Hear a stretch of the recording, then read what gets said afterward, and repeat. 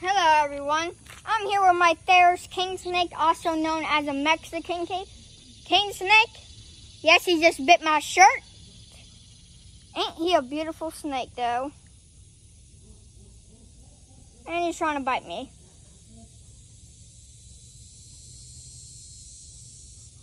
It's a king snake. What else are they going to do? Ain't they cute? Well, everyone, be safe, my friends, and go subscribe.